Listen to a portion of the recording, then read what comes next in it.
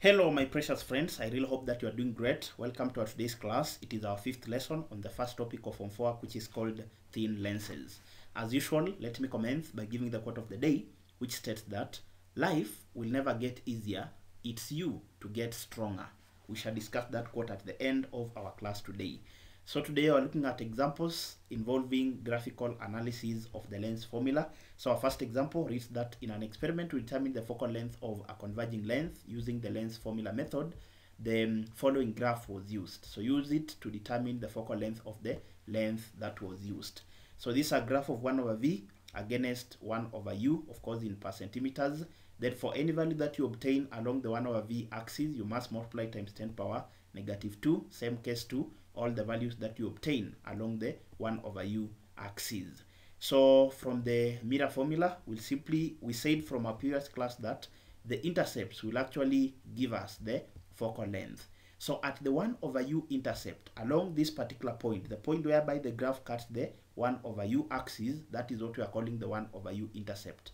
So along the horizontal axis, the values of y will always be equal to 0. So similarly, along the 1 over u uh, axis, all the values of 1 over v will always be equal to 0 because if you read the value of 1 over v at this particular point is actually equal to 0. So at the 1 over u intercept, the values of 1 over v will always be equal to 0.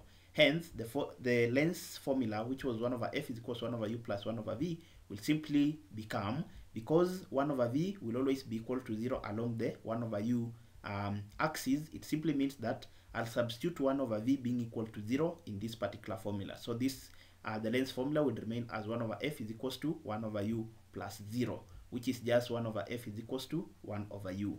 But from our graph, the value, the 1 over u intercept, that is the point whereby our graph cuts the 1 over u axis, it is cutting it at 0.4.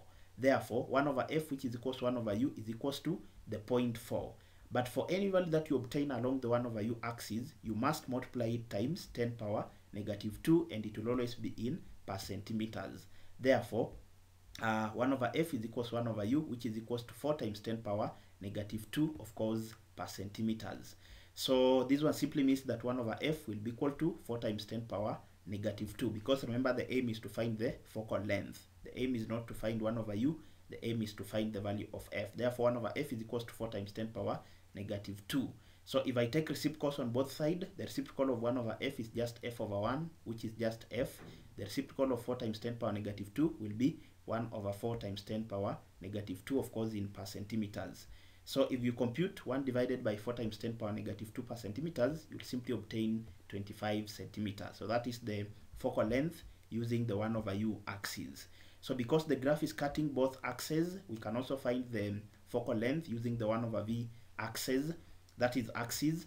So at the 1 over v intercept, so at the point whereby this particular graph cuts the 1 over v intercept, all the values of 1 over u will actually be equal to 0. Same thing to what you are saying in mathematics that all the values of x along the y-axis will be equal to 0. So the same thing.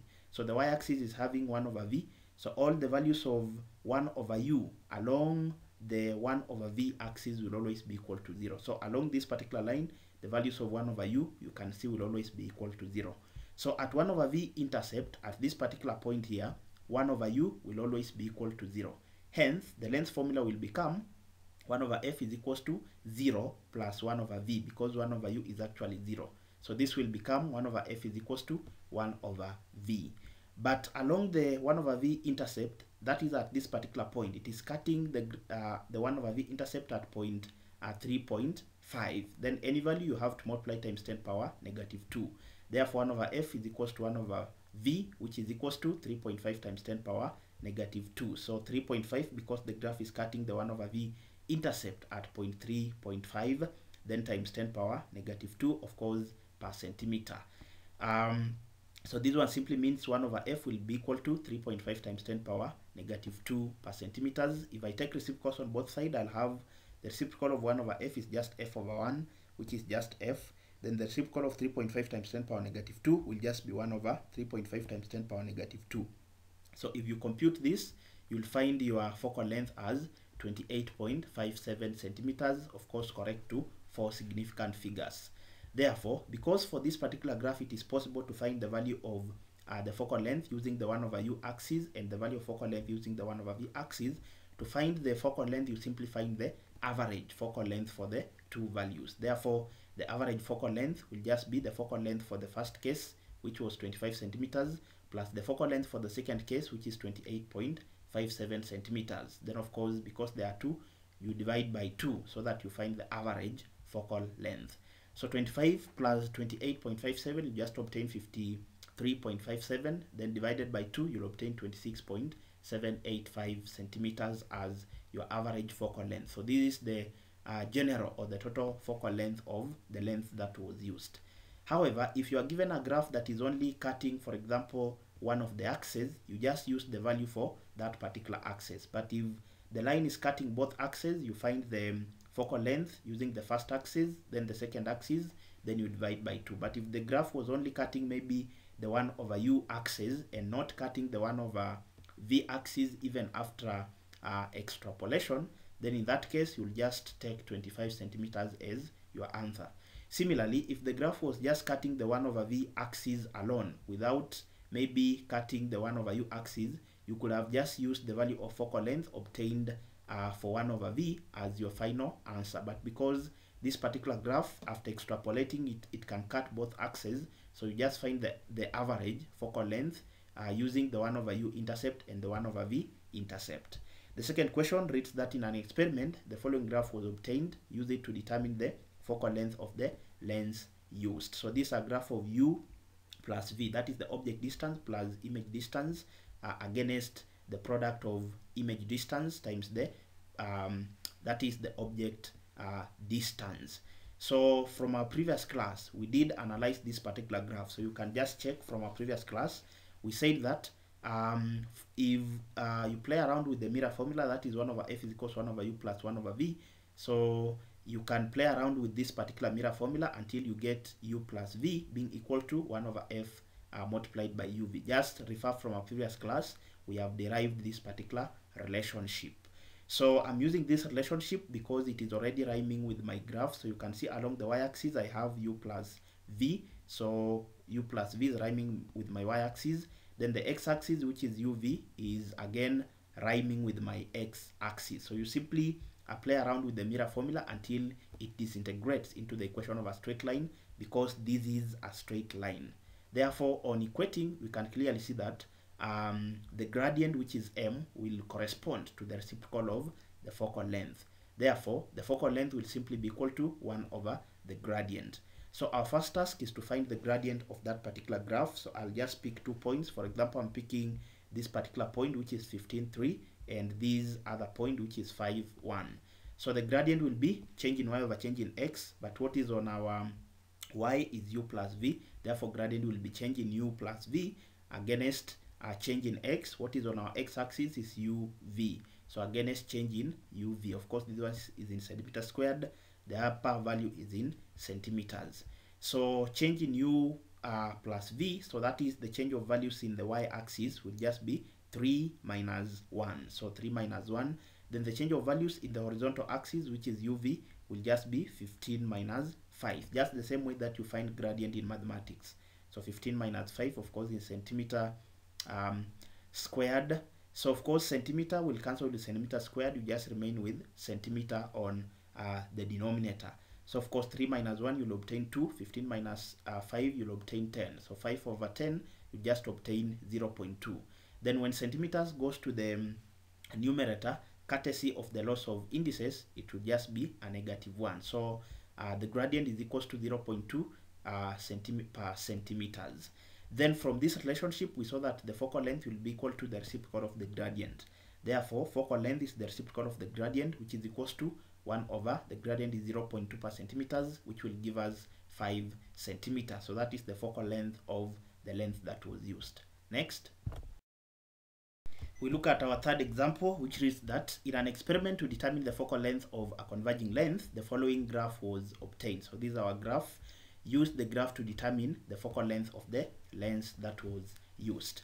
Of course, from our previous class, we did look at the graphical analysis of the graph of uh, uh, magnification m against the image distance v. So from the mirror formula, 1 over f is equals 1 over u plus 1 over v. So we are simply trying to make this particular equation align with the equation of a straight line graph. So I'll start by multiplying uh, each and every term by v so that I introduce the magnification in the formula. So times v times v times v. So of course v multiplied by 1 over f, you just obtain v over f.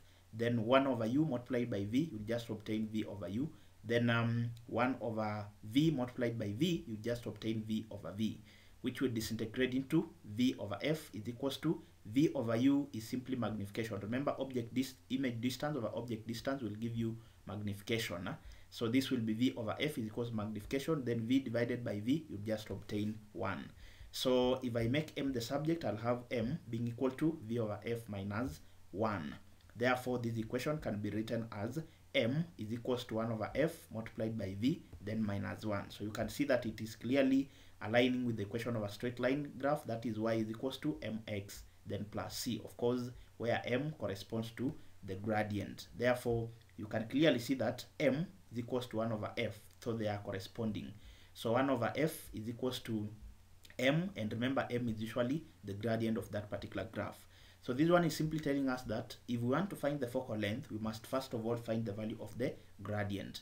So let's find the gradient of the given graph. So of course gradient is change in y over change in x.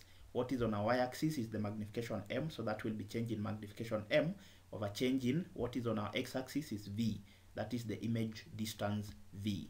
So I'm going to use this particular point here, that is point 10, 0, and the point, uh, the point 0, uh, negative 1. So it, the change in y will simply be um, 0. Remember the value of y here is actually 0. So the change in y will simply be 0 minus minus 1.5. So this is the value of y at this particular point. So this is point 10, 0. Then this is uh, the point uh, 0, negative 1. Therefore change in y will just be uh, 0 minus minus 1. So 0 minus minus 1 then change in x will just be 10 minus 0 so 10 minus 0 so 0 minus minus 1.0 you'll just obtain um, 0.1 so if you take this will, will actually be uh, will remain as positive 1 then divided by 10 it will just give you 0.1 then of course in per centimeters so um, because we said that the reciprocal of the focal length will be equal to the gradient and we have found the gradient as 0.1 it follows that 1 over f will be equal to the gradient and the gradient is 0.1 so 1 over focal length is equals to 0.1 which is the gradient.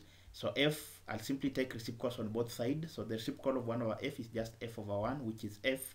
Then the reciprocal of 0.1 will just be 1 over 0.1 per centimeter so f will be equal to 1 divided by 0.1 per centimeter it will just give us 10 centimeters therefore that is the focal length of the lens that was used Therefore, the focal length is equals to 10 centimeters. We can convert it to meters, which will be 10 centimeters divided by 100 centimeters times 1 meter, which will give us 0.1 meters. So that is the focal length. Then part B, they wanted us to find the power of the lens used. We said also from a previous class that the power of the lens will be equal to the reciprocal of the focal length when that focal length is expressed in meters. So because the focal length is 0.1, uh, the power of the lens will be 1 divided by the focal length which is 0.1 meters which will give us 10 meter power negative 1 on, or 10 per meter which is simply equal to 10 uh, dioptries or which can also be abbreviated as 10d so that is the power of the lens that was used in that particular case Lastly, I have an exercise that I recommend you should try at your own free time to get the understanding of the examples that you have just done. Of course, if you have any challenges in handling any of the questions, feel free to drop a comment specifying the question that you need help in. And as usual, I'm always here to try and help where possible. So we've come to the end of our class today, but we need to discuss the quote of the day. The quote of the day stated that life will never get easier. It's you to get stronger. So the quote is warning us against expecting life to be smooth. Remember that real life comprises of ups and downs. Therefore, we must be psychologically ready to deal with the downs of life because that is the only way we can grow. Remember, there are only difficult moments or challenging moments that can help you to grow your mental strength because you will learn how to solve problems uh, next time. And remember that the most successful people are the ones who are problem solvers. Therefore, the larger the problem you solve, the more successful you become. And lastly, recall that strength does not come from the things you can do. Rather, strength comes from overcoming the things you thought were impossible. Thank you very much for accompanying me until the end of this particular lesson. I do not take it for granted. In case you are new to the channel, kindly hit the subscription button and also turn on the notification bell so that whenever I upload a new video, you'll get notified. Until next time, this is Kind Tuition Academy. Thank you very much.